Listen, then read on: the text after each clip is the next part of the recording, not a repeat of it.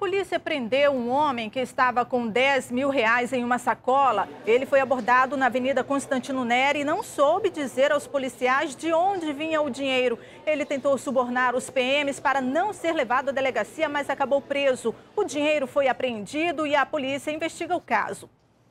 A Mega Sena paga hoje um dos maiores prêmios acumulados da história, 135 milhões de reais. E isso levou muitos amazonenses às loterias. Quem foi às lotéricas nesse sábado estava em busca de um dos maiores prêmios da Mega Sena. É um objetivo de todo mundo, né? Todo mundo tem essa intenção de, né, de, de, participar, né, de concorrer e quem sabe esse prêmio não sai aqui para Manaus, que é muito difícil sair, né? O maior prêmio já pago desde 2010. Alguns apostadores aproveitaram para fazer vários jogos. Outros ficaram quietinhos na fila e fizeram uma única aposta. É muito dinheiro, mas quase todo mundo diz que vai saber o que fazer com a bolada. Se eu ganhar, eu preciso ajudar muitas pessoas que precisam, principalmente amigos meus né? E também fazer uma grande viagem com a família. Primeiramente é pagar as dívidas, né? O resto é só lazer. Se o ganhador aplicar todo o dinheiro na poupança, ele pode render até 863 mil reais por mês.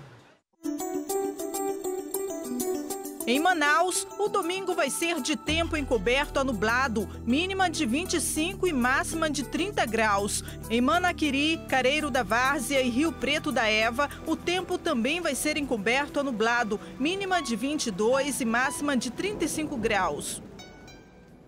Idosos e amantes da corrida participam de um evento na Ponta Negra nesse fim de tarde e é para lá que nós vamos agora com a repórter Márcia Lasmar. Olá, Márcia.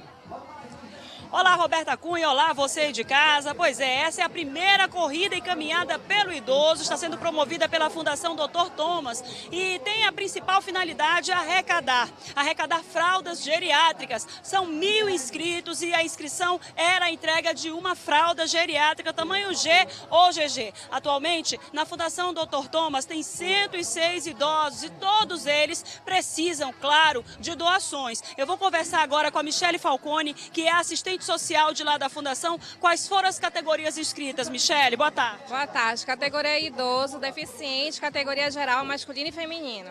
Como é que vai ser essa premiação? A premiação vai ser medalhas para todos os inscritos, todos que participaram, todos que se inscreveram vão ganhar medalhas, os primeiros colocados vão ganhar troféus.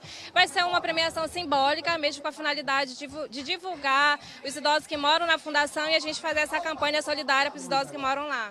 E as necessidades da fundação, além da fralda, o que mais que a fundação precisa? De higiene pessoal, é, alimentação, entendeu? De modo, roupas, tudo que for de necessidades básicas de uma pessoa, a Fundação recebe para os nossos idosos. Okay, muito tá obrigada. Lembrando que as doações podem ser feitas de segunda a segunda no setor de serviço social. Volto com você no estúdio, Roberta Cunha.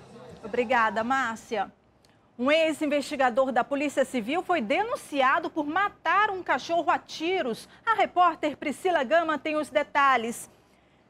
É isso, é isso, mesmo, Roberta. O ex-investigador é suspeito de matar o cachorro da vizinha dele, que denunciou o caso à polícia. Segundo testemunhas, o cão de estimação da família costumava brigar com o cachorro do ex-investigador.